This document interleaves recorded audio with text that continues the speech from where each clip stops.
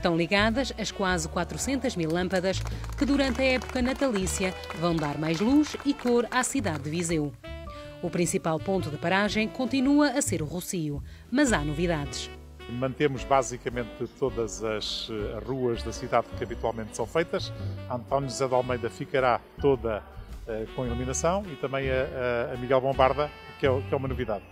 Temos aqui o Rocio com esta prenda gigante, que faz relembrar aqui um bocadinho também o cubo mágico, foi um bocadinho o aproveitar uma estrutura já, já existente. Obviamente que este ano vamos ter que comemorar o Natal de uma forma diferente. Eh, as luzes vão trazer alegria, vão trazer calor eh, para as nossas crianças, também para incentivar as pessoas a virem fazer as suas compras no, no comércio de proximidade.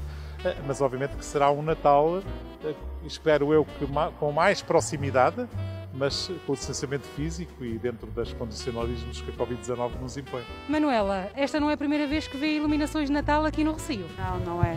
Já são vários anos seguidos a ver. E o que é que achou deste ano? Está muito bonito, muito bonito mesmo. Está diferente. Mais bonito que o ano passado, está muito giro. E no seu caso, aprecia esta época natalícia? Adoro. É das melhores épocas que nós temos no ano. E a iluminação na cidade também dá outra alegria? Totalmente diferente, principalmente nesta fase, não é? Esta pandemia é muito melhor agora, está mais iluminada e dá mais vida à cidade. E Manuel está aqui num lugar privilegiado. O que é que acha aqui da iluminação de Natal? Acho engraçada, uma forma artística de, de representar o, o, presente, que é aquilo que não devemos valorizar tanto, tanto no Natal, mas, mas faz parte. E no seu caso, gosta da época natalícia? Assim, gostava, já gostei mais quando os meus avós eram vivos, que acho que é o espírito de Natal, os avós fazem presente. Agora, sem os avós é, é mais a parte comercial, digamos assim, já não é aquela parte mais efetiva.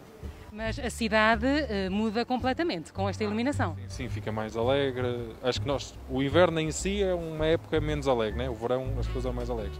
O Natal vem trazer essa alegria, essa fantasia, os sonhos, né? Uh, e também nós que já somos assim mais cotas, lembrarmos quando éramos crianças. Né? Estou a ver que trouxe as suas filhas hoje para ver aqui as luzes de Natal. Sim, tem sido uns dias complicados estes, desta nova realidade que nós estamos a vivenciar e então fizemos desta surpresa hoje de virem vir as luzes de Natal e, e, a abertura das luzes de Natal. E o que é que está a achar deste presentinho iluminado? Acho que é um bom presente de esperança para todos nós, que eu acho que é o que nós precisamos e acho que dá uma alegria diferente à cidade, sem dúvida. O Mercado 2 de Maio volta a receber até janeiro o Mercado de Natal, que este ano se estende a uma dezena de lojas na Rua Direita. Temos também aqui uma, um, um elemento de novidade, a própria autarquia resolveu atribuir a cada funcionário um vale de 25 euros para poderem comprar no mercado de proximidade. No fundo, são 25 mil euros que seguramente vão ser multiplicados por dois ou por três de compras no mercado uh, que está virado para a rua, para o chamado mercado de proximidade. E a programação, eh, vamos ter, enfim, por um, por um lado, o Festival Literário Tinto no Branco, em streaming, ter também a programação do, do, do, do, Festival de Música da Primavera, como eu costumo brincar, com alguns flocos de neve, mas que seguramente não vão cair, que é o Festival de Música da Primavera a, a decorrer no, no, inverno, também todo ele em, em streaming, e, e, mais alguma programação, os contos de Natal que vão estar a decorrer, a programação nas nossas, uh, nos nossos museus, na nossa biblioteca. Eu próprio irei contar um conto de Natal. Eh, vamos recolher 30 contos de Natal em que um por dia será contado, também via, via, via eh, meios digitais.